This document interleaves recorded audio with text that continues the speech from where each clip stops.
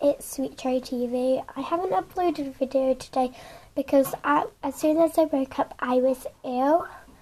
Um, so I went to the walk-in centre and before I got seen I had to wait an hour and 30 minutes with my mum and um, yeah we went in there and it turns out I have um, uh, viral infection, but I will get better and I'll keep on uploading videos.